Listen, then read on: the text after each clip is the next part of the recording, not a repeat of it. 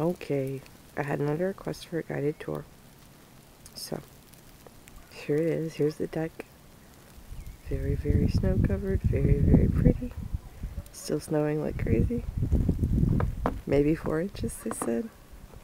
Probably further east of here, but I would be so freaking happy. Oh, so pretty. Let's see. Would you try not to bust my butt? That's thick. Here's the backyard. And the trees. And the lot they cleared up but did not put the house on.